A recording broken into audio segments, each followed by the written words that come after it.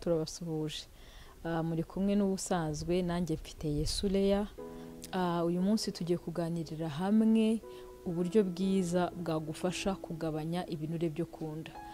Rero iyo umuntu afite ibinure byinshi kuri icyo gice ah, cyo ku nda bimutera ibyago byinshi byo kuba yagira indwara zitandukanye.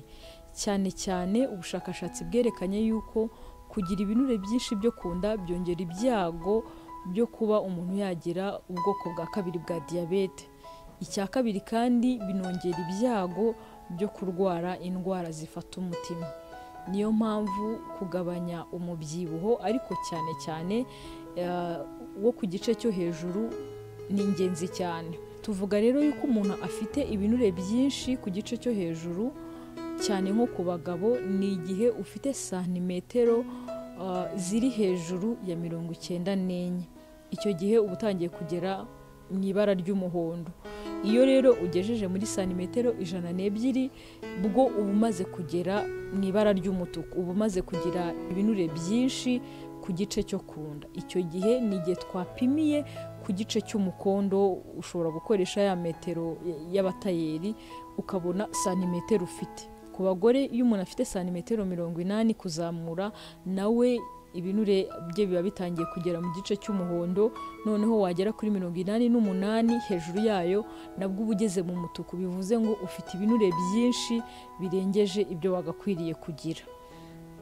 Rero twabahitiyemo uburyo cyangwa se ibyo ushobora kwifashisha byagufasha mu kugabanya ibinure cyane cyane byo ku nda. Ikintu cya mbere ugomba kwitaho ni uko ugomba kwirinda ibiryo birimo amasukari menshi cyane. Aho twavuga harimo ibinyobwa byinshi nk'amafanta amaji ah, cyangwa se ah, amabombo isukari isanzwe abantu bashyira mu byo kunywa. Ibyo bintu ni byo bintu bya mbere ukwiriye kwirinda. Kubera ko bi- bituma isukari iyo sukari dufashe yinjira vuba mu maraso noneho bigatera ko akenshi byisitoka ku gice cyo ku nda. Ariko aho ngaho twanavugamo yuko harimo n'imitobe y'imbuto. Imitobe y'imbuto rero nubwo imbuto ubusanzwe ari nziza ariko iyo turiye imitobe y'imbuto bituma turya kantite nyinshi kandi kubera ko ibikatsi byavuye muri za mbuto akenshi abantu babijugunya bituma ya sukari iba ari nyinshi kandi ikinjira vuba. Ikindi ku mitobe y'imbuto bituma umuntu afata kantite nyinshi cyangwa se ingano nyinshi kuruta umuntu wariye imbuto zisanzwe. Kugira ngo wenda ukore ikirahure cy- cy'amaronji cyangwa se umwembe bishobora kugutwara nk'amaronji atatu cyangwa ane atanu. Ariko kugira ngo urye ayo maronji icyarimwe akenshi biragorana. Niyo mpamvu iyo umuntu ariye imbuto zisanzwe arahaga kuruta umuntu wakoresheje jus z'imbuto. Ikindi kandi iyo umuntu afashe umutobe ntabwo ubwonko bwe bubona igihe cyo kumva yuko ari kurya kubera ko nta iriya ntuza yo guhekenya ibaho bigatuma rero umuntu yumva eh, ubwonko butumva yuko umuntu ari kurya bigatuma bitagabanya inzara. Ikindi cya kabiri ugomba gukora ni uko ugomba kurya indyo ikungahaye cyane cyane mu byubaka umubiri. Ibyubaka umubiri ni byo twita poroteyine ziri mu bwoko bubiri butandukanye. Harimo ibikomoka ku matungo ndetse n'ibikomoka ku, bimera. Poroteyine zikomoka ku matungo ushobora kurya ushobora kurya ifi ushobora kurya inkoko ushobora kurya amagi ushobora gukoresha amata ariko bibaye byiza akaba agabanyijwemo amavuta. Ku bakoresha ibikomoka ku bimera bo bashobora gufata nk'ibishyimbo ah, amashaza ubunyobwa soya tofu za soya mbega biriya bikomoka ku, bimera. Poroteyine rero impamvu tuzigiramo umuntu inama ko yazikoresha ni uko zituma umuntu yumva ahaze. Kandi ikindi kubera ko digestion ya, ya poroteyine itihuta bituma umuntu yumva ahaze igihe kirekire. Bityo rero bigatuma n'ibyo wagombaga kurya na byo bigabanuka bikaba bikeya. Niyo mpamvu gushyira ibyo ngibyo twavuze mu mirire yawe bizagufasha. Gusa bigomba nanone kutarenza nka mirongo itatu ku ijana y'ibyo wagombaga kurya. Ikintu cya gatatu ugomba kwitaho ni uko ugomba gufata ibitera imbaraga bikeya. Ibitera imbaraga tubonamo ibintu bitandukanye imiceri kawunga ubugari ibitoki ibirayi eh, imyumbati amateke. Biriya byose ni byo twita ibitera imbaraga. Ku muntu rero ushaka kugabanya cyane ibinure byo ku nda yibanda nanone mu kugabanya ibitera imbaraga. Iyo umuntu arya ibitera imbaraga byinshi biruta imbaraga akoresha bituma umuntu azamura ibiro. Rero kubera ko akenshi iyo tugabanya ibinure byo ku nda biba bigomba no kugendanirana kenshi no kugabanya ibiro muri rusange. Hari benshi bibwira ngo kugabanya amavuta cyane akibagirwa kugabanya ibitera imbaraga wenda ukavuga ngo njye ibitogosheje ariko ukarya byinshi bituma ibinure byo ku nda n'ubundi bigumaho. Ubushakashatsi bwerekana yuko abantu bafata ibitera imbaraga bikeya bagabanya ibiro cyane inshuro ebyiri cyangwa eshatu kurusha abantu bagabanyije amavuta gusa ariko ibitera imbaraga byabo bikaguma biri hejuru. Urumva rero ko kugabanya ibitera imbaraga biri kimwe mu bintu by'ingenzi ugomba kwitaho mu kugabanya ibiro. Ikintu cya kane ugomba kwitaho ni uko ugomba kurya ibiryo bikungahayemo ibikatsi by- by'ibiribwa cyangwa se ibyo dukunda kwita fibers. Fibers zishobora kuboneka mu biryo byinshi bitandukanye zishobora kuboneka mu mboga cyangwa se ibindi bifite fibers nk'umuceri wuzuye uwo twita brown rice cyangwa se wafashe makaroni zuzuye na zo ziri brown cyangwa wakoresheje umugati wa brown. Mbega biriya bakoresha impeke zuzuye batakoboye inyuma. Izo fibers iyo zigeze mu gifu zikora ikintu kimeze nk'ikijeri.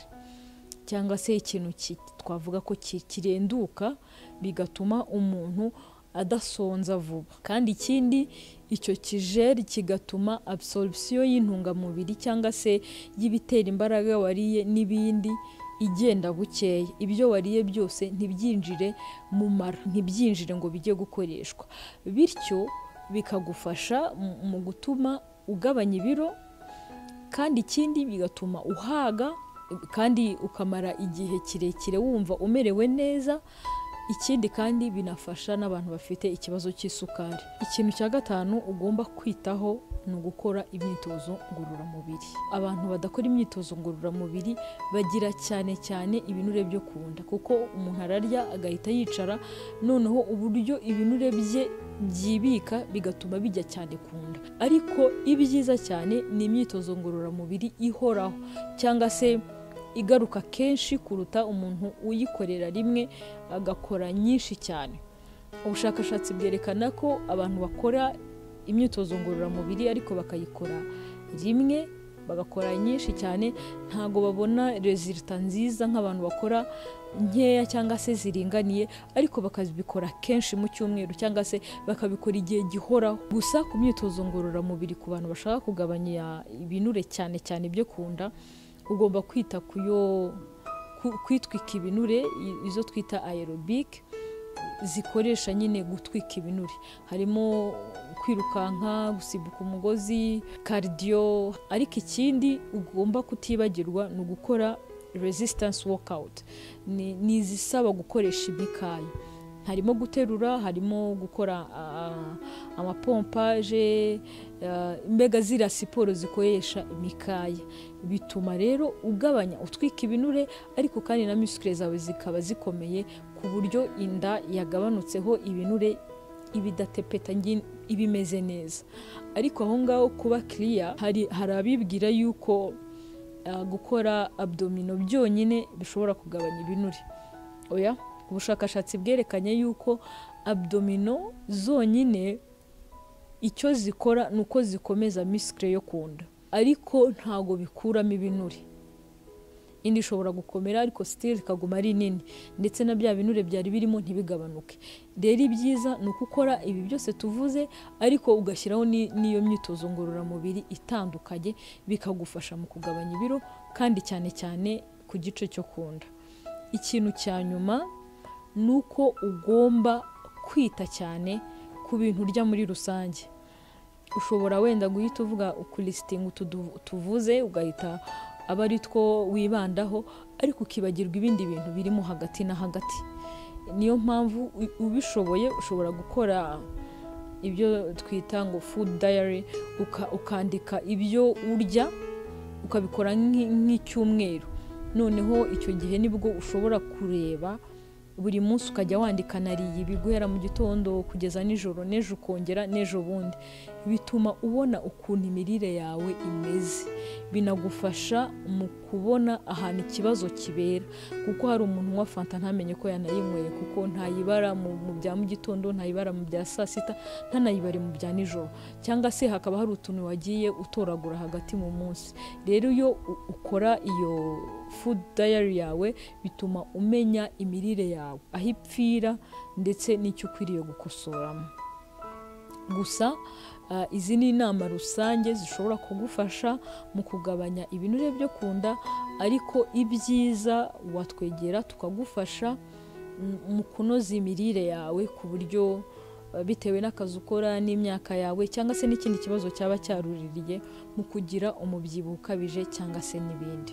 Ikindi ugomba kwibandaho utagomba kwibagirwa ni uko gusinzira ni byiza bizagufasha mu gutuma ibinure byawe na byo bitaba byinshi kunda ubushakashatsi niko bwabyerekanye. Ndetse no kwirinda kugira umujagararo siteresi na byo bizakurinda kugira ibinure byinshi byo kunda mwari kumwe nanjye mfite yesudeya naho ubutaha.